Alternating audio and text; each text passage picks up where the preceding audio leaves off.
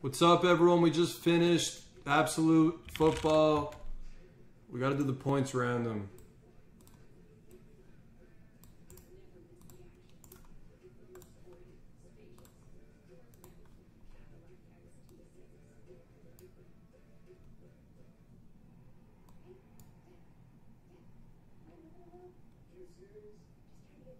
Six. I think it was a six.